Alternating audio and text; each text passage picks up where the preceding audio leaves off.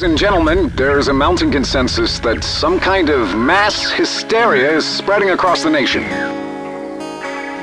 Utmost caution is advised. Be warned that the aggressors are irrational, deranged, and can be dangerous in large numbers. Do you hear them? They're coming.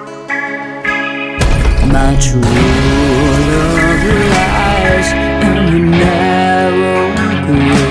steps to protect the weak or the very young. The sun never shines. Watch your neighbors closely for strange behavior.